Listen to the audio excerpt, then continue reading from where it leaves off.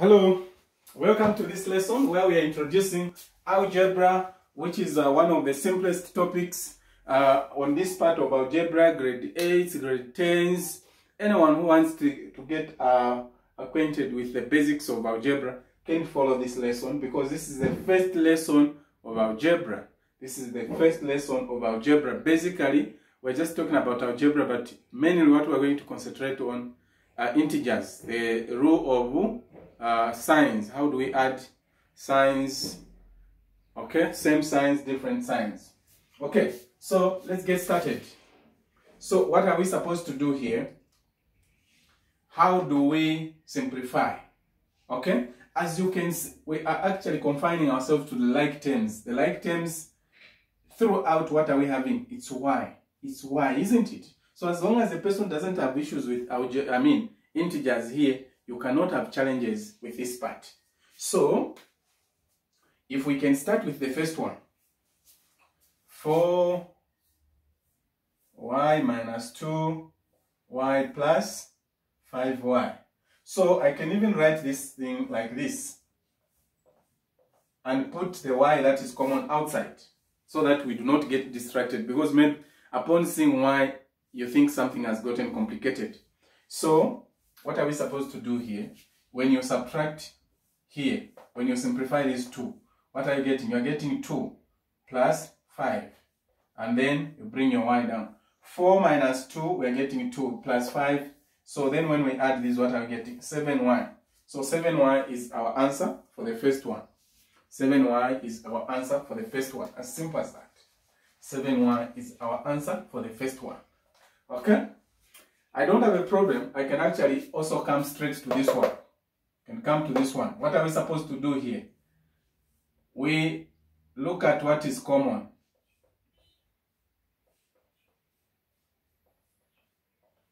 We get the coefficients. Then we leave our ab squared alone outside there. We work out with these, like integers, which is taught, we, integers, we teach in, integers in grade 7, I think as well as grade 8. So, how do we add these? Okay? You know here we've got two different signs. So, how do we simplify these? We say you subtract the smaller number here, then keep the sign of the larger number. So, we're going to get negative 6 plus 8 minus 6. Okay, again we do the same thing here. How do we simplify these?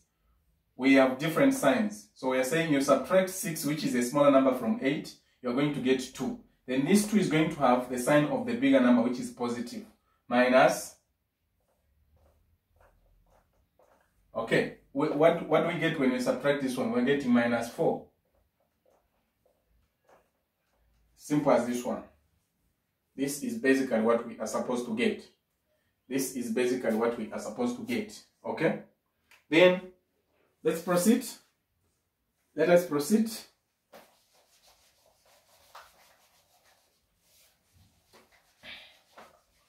Let's look at this one. This one, the same thing. What is common? 2, I mean, uh, y is common. So we have 6 plus 10 minus 12 minus 14 plus 8 minus 1. Here the coefficient is 1. Open brackets, y outside. What do we do? You simplify this one, the first one, what are you going to get? You get minus 4 plus 10 minus 12 minus 14 plus 8 minus 1. You keep our y there. This one, we are simplifying integers basically. When the signs are different, we subtract the smaller number here. What do we get? We get 6. 6 will keep the sign of the bigger number, which will be positive. Minus 12 minus 14 plus 8 minus 1. Okay, then at this point, what are we supposed to do? Again, the same thing. You subtract this 6 from 12, you're getting 6. 6 will keep the sign of the bigger number, which will be minus. Okay? Then minus, we have minus 14 plus 8 minus 1. Why here? These, we have both of them. They are the same signs here. We have the same sign, isn't it? When the sign is the same, you add them and keep the sign. So this is going to be 20 minus plus 8 minus 1. What do we get? y here. Again, this is the same thing. We're going to get minus 12 minus 1. What are we getting? Our 12 here. These ones, the sign is the same. So we're going to have minus 13y. Minus 13y will be our answer for this one. Minus 13y will be our answer here. Okay.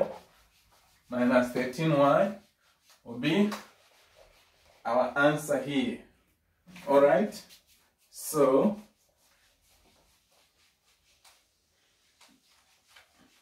what are we remaining with? Remaining with these, these ones here. Okay. So let's do the same thing. What are we supposed to have? 8 minus 10 plus 7 minus 1. Here there's a minus 1 here. There's a minus 1 here. What is common? xy. This is going to give us minus 2. I'm sure by now you are familiar with the xy. What are we supposed to get here? 5 minus 1. xy. When the signs are different, you subtract the smaller number from the larger number, which will be 5. Then the 5 will keep the sign of the larger number. So this gives us what? 4xy. This is our answer here. Alright? We do the last one. Do the last one. Do the last one. Here, what is common? What is common is x squared minus 5 plus 12 minus 20. We keep our x squared there. So this is going to give us 2 plus, okay, so here I can say, when we subtract here, what are we getting? We're going to get 2. When we get 2, 2 plus 12, we're going to get 14. 14 minus 20, x squared. What do we get here? Minus 6, oh, sorry, sorry, sorry. It's x squared, isn't it? x squared. This is what is going to be our answer. This is what is going to be our answer.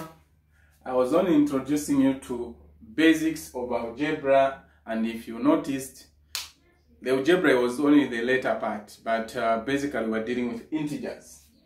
Okay? Now you cannot in case you have something like this one.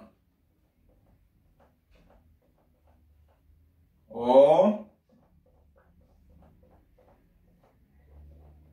you know this is going to give us zero this is 6 minus 6 we're going to get 0 so you can't write 0 x squared. No. You know that when you multiply 0 by anything, you get 0. So this will be 0 just. Even this one will just be 0. That will be your answer. You can't have 0 xy. No. 0 is 0. Alright? That is that. That is that. And I thought I should introduce you to this part.